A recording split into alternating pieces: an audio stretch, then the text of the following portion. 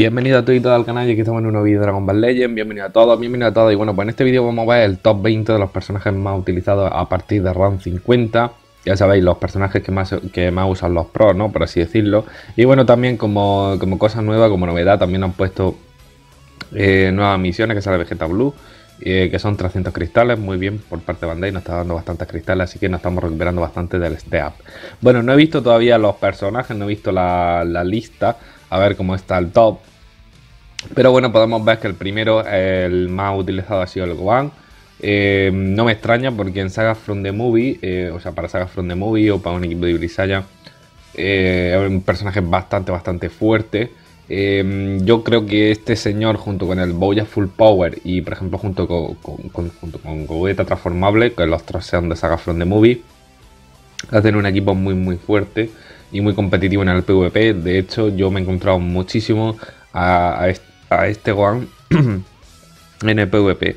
Luego está el, Goku de Namek, que sigue siendo un personaje bastante, bastante fuerte, que también entra en muchos equipos, también lo encontré muchas veces. Super Bellito también ha subido al tercero porque se sigue utilizando un montón en un equipo de Fusion Warrior muy bueno y ahora se va a utilizar más Super Bellito para hacerle counter al Goku Super Saiyan 3 que también se ha utilizado mucho y este One, que también es limitado, pues está el quinto. Ya podemos ver que básicamente el 2, el 3, el 4 y el 5 de personajes más utilizados, pues son personajes limitados, ¿no? Que son, pues, Saiyan, eh, son, Family y el de Fusion Warrior, que es súper bellito.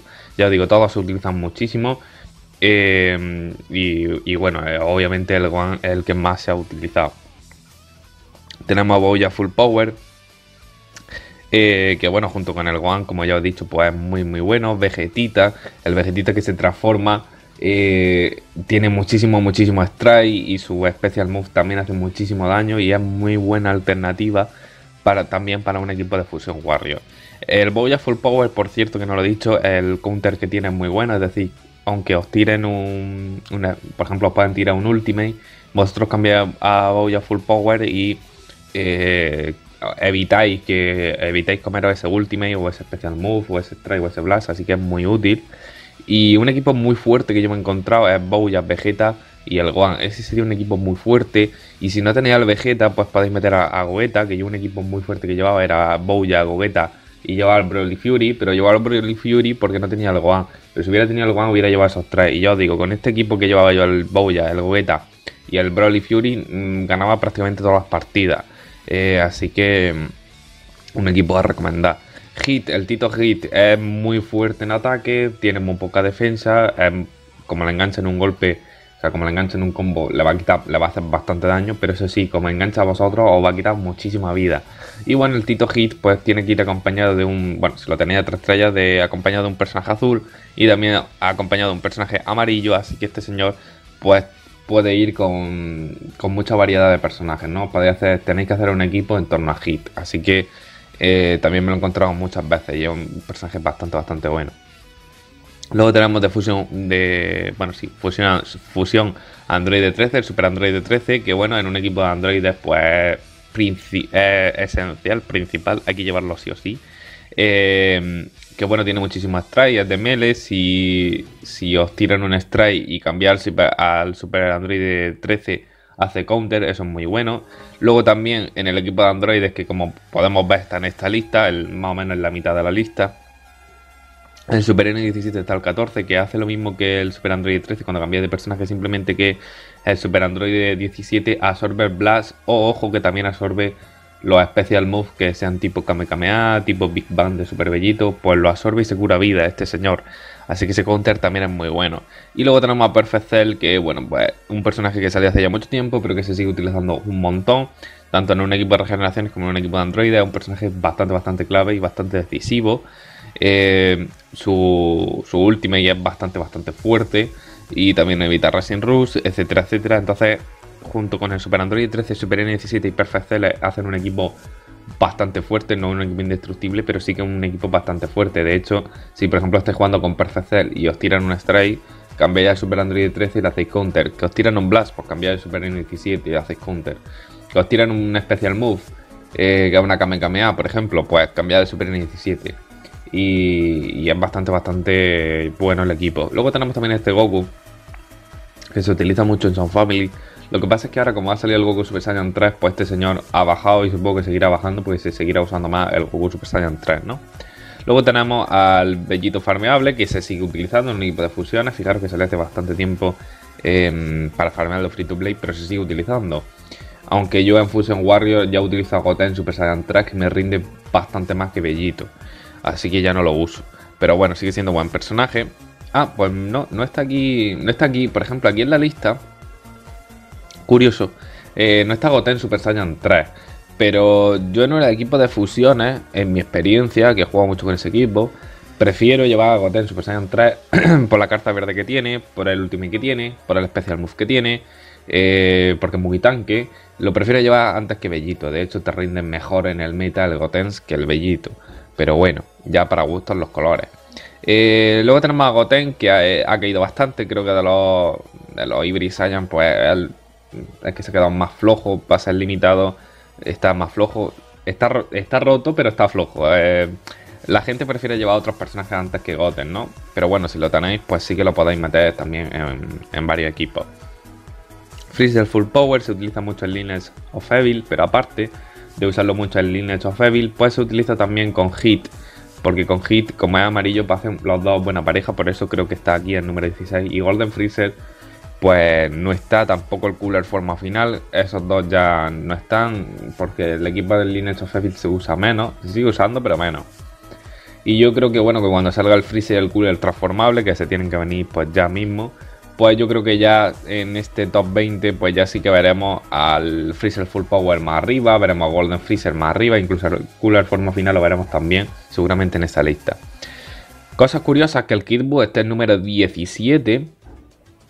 Eh, me parece curioso que esté tan bajo, debería de estar más arriba, porque creo que a mucha gente ha salido el Kid Buu y es un personaje muy bueno. Eh, en un equipo de regeneraciones funciona bastante bien. Fijaros, el, Gohan, el Gohan también está el, el 18. Los dos están bastante bajos, deberían de estar más arriba. Simplemente que regeneraciones, como ya os he dicho yo cuando lanzaron el Kibu, creo que igualmente regeneraciones necesita un par de personajes nuevos también poderosos, porque se ha quedado un poco atrás. Pero bueno, un equipo de regeneraciones perfectamente sería Kid Buu, Perfect Cell y, One Ultimate. Está aquí en el, en el top 20 el equipo también. Lo que pasa es que creo que debería estar un poco más arriba. Pero es que a día de hoy el mejor equipo competitivo del PvP Mm, yo lo veo que es el de Saga From the Movie con el One o un equipo de, de Sound Family, Brisaya o ya un equipo de fusiones como, hemos llevado siempre. Yo creo que esos son los equipos más fuertes que hay. Luego ya de Android y regeneraciones, en mi opinion. Y Lineage of Evil ya un poquito más por debajo, porque no han sacado todavía los personajes nuevos de Lineage of Evil. Y bueno, como cosa curiosa, en el 19 y el 20 pues ha subido el equipo de God Kid eh, interesante que no esté Vegeta, porque yo creo que Vegeta puede ser un buen counter. o sea, Vegeta Blue puede ser un buen counter para el Goku Super Saiyan 3. Me sorprende que no metan a Vegeta, pero sí los Blues pues, han subido porque eh, tanto el Kaioken por día como, como este Goku y, y, el Vegeta, los tres hacen muy buen equipo competitivo. No, mm, bueno, no un equipo que sea el mejor del mundo, pero sí que un equipo muy fuerte que le puede ganar a cualquiera. Creo que ha subido el Goku y este Goku Blue Kaioken por 10 porque su banner volvió a salir. Y como volvió a salir el banner, pues supongo que mucha gente lo habrá conseguido. A lo mejor las daily y por eso ha subido más.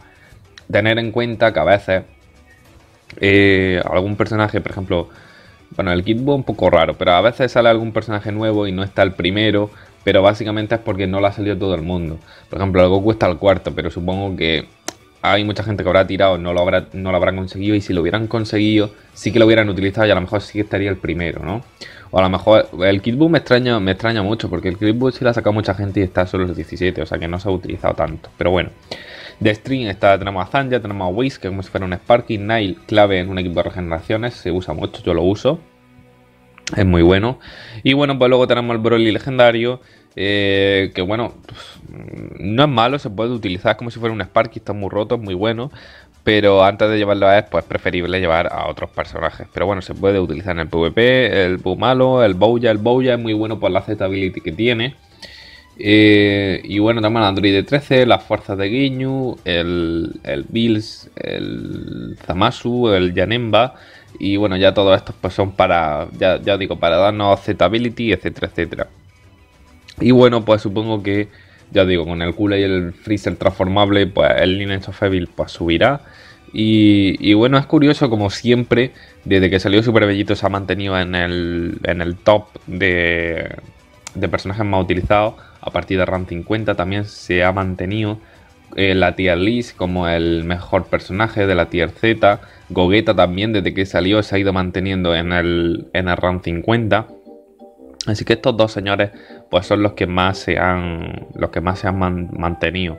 La verdad, Perfect también es uno de los yo creo que de los veteranos, ¿no? Pero si pues llamarlo de alguna manera, yo diría que son los veteranos. Perfect Cell, eh, Goeta, eh, Super Bellito, el Gon, eh, Super Saiyan 2. Yo creo que ellos son los más veteranos que hay, los que desde que salieron se han mantenido los personajes más usados en el top 20, ¿no? Los mejores que podéis tener. Y Goku Blue también ha ido así manteniéndose en el top 20 junto con el Vegeta. Ya hace ya que no sale, pero bueno, el Goku también. Eh, este Bellito también es veterano, siempre se ha usado en el top 20, pero básicamente porque no sacan, eh, no sacan más personajes de Fusion Warrior. Deberían de sacar personajes de Fusion Warrior que su Z Ability le dé a Fusion Warrior que sean de color rojo. Entonces así ya el bellito este pues bajaría, ¿no? Eh, por ejemplo, ¿por qué no está el Gogeta Ángel? Y, por ejemplo, ¿por qué no está el Gogeta Ángel que es de color rojo? Pues bueno, porque este bellito es mejor y la gente lo farma y lo tiene a 7 estrellas, por eso usa al bellito. Pero bueno, pues este es el top 20, eh, veremos a ver qué, es lo que pasa cuando salga el culo y el... Y el... Y el Freezer, y aparte en el Black Friday pues si se viene Black Rosé, pues supongo que Goku Blue, Vegeta Blue y este Goku Blue Kaioken por 10, pues subirán porque son de God así que supongo que subirán también. Así que bueno, pues espero que os haya gustado el vídeo, si así, pues bueno, pues darle un like, suscribiros al canal si no lo estáis y activar la campanita para estar atento a todo lo que tiene el canal y nos vemos en próximos vídeos de Dragon Ball Legends. Hasta luego.